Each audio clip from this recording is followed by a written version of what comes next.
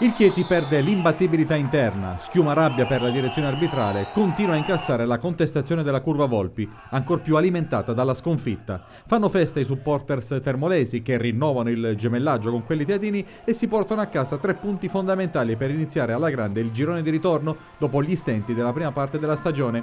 Il tecnico di casa Ronci recupera Di Pietro e Prinari e nonostante il forfè di Sgambato conferma il 3-4-3 posizionando Di Pietro nei tre di difesa con Rapino e Sbardella. Nel Termoli assenti Russi e Scarpone, il tecnico Casu, al termine dell'ennesima roccambolesca settimana, ripropone il 4-3 col tridente ragazzo Santoro di Matera. Al nono, cambio subito obbligato per i padroni di casa. Del Grosso si ferma per un guaio alla coscia sinistra, dentro Perfetti e Prinari dirottato sull'out destro.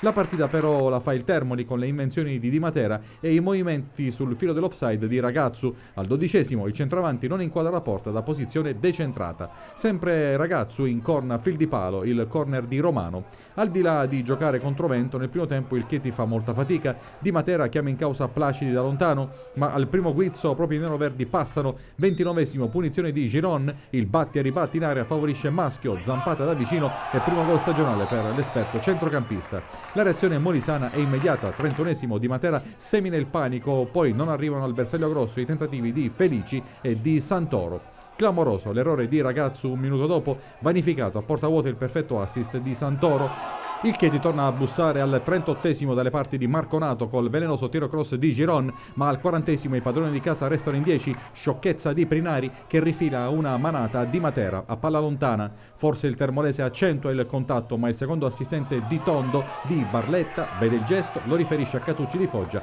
che estrae il rosso a Prinari. Ronci tiene le tre punte e passa la difesa a 4, ma il Chieti continua a soffrire all'inizio ripresa, Placidi interviene su Felici. Eppure i neroverdi avrebbero il colpo del KO al settimo, il solito Giron fa il vuoto, Broso devia, Marconato distinto si salva. Al decimo Ronci si copre con Navarro al posto di Orlando, ma al quarto d'ora il Termoli impatta. Placidi raccoglie con le mani il retropassaggio di Rapino, volontario o no? Punizione a due in area che Ragazzu sfrutta a menadito riscattando l'eroraccio del primo tempo. Secondo gol per lui. Tornata la parità, il Termoli frena la sua spinta e il Chieti gestisce meglio la situazione, ma il finale sarà amaro. 33esimo Esposito va giù in area per Catucci di Foggia e simulazione del fantasista nero-verde ed è giallo per lui. Al 40esimo il momento chiave, contropiede termolese, nato forse da un fallo di mano di Sorianello. Ragazzu finisce a terra in area di rigore, stavolta il penalty viene concesso successo, inutili le proteste teatine. Di Matera dagli 11 metri regala al Termoli il sorpasso e il gol da tre punti.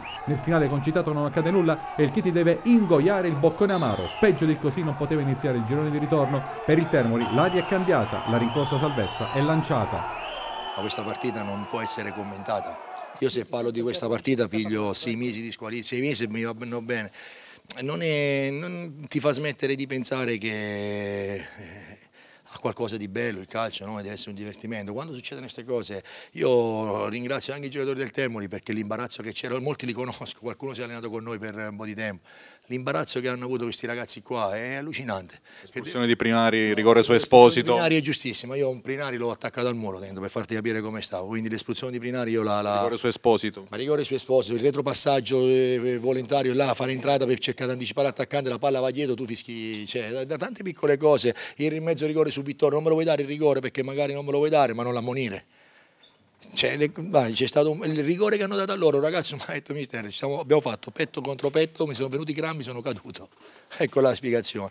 Eh, questa vittoria ci dà morale, eh, ci dà continuità dopo la prestazione positiva con la Vispesara. Oggi ce ne vamo a fare risultato, abbiamo lottato fino alla fine, purtroppo come spesso ci capita, al primo nostro errore veniamo puniti. Eh, abbiamo sbagliato tre palle gol al primo tempo, però devo dire che i ragazzi hanno lottato fino alla fine e penso che questa vittoria sia meritata.